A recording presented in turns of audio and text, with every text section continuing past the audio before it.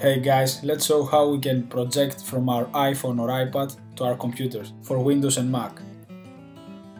Type Air Server, the link will be in the description. Download now, you can have a 7 day free trial. Uh, you have a standard license, a student and a commercial one. I just uh, got the commercial, it's only $4. Buy now buy the software, download it and install it in your computer. Uh, download it for Mac, you can download for PC or Mac. When you download it, go to your applications, Air Server, you will see uh, this icon here. So now go to your iPad or uh, iPhone, double click on the home button and go right. You will see there again the same icon, just click on the icon Select the name of your computer and select mirroring.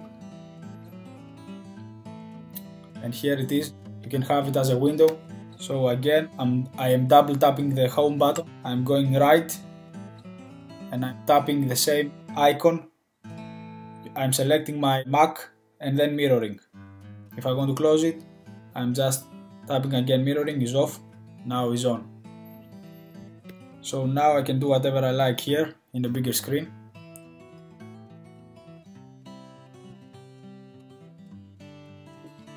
I like this one. So if I turn my iPad now it will be like this. So now I can can go to my Docus that is my writing application. You can see here that you can project. I have done some tutorials here.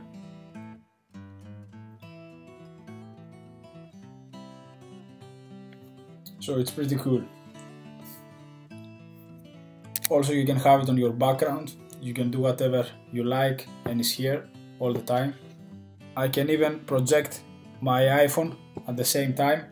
So I can have my iPhone and my iPad mirroring in my computer.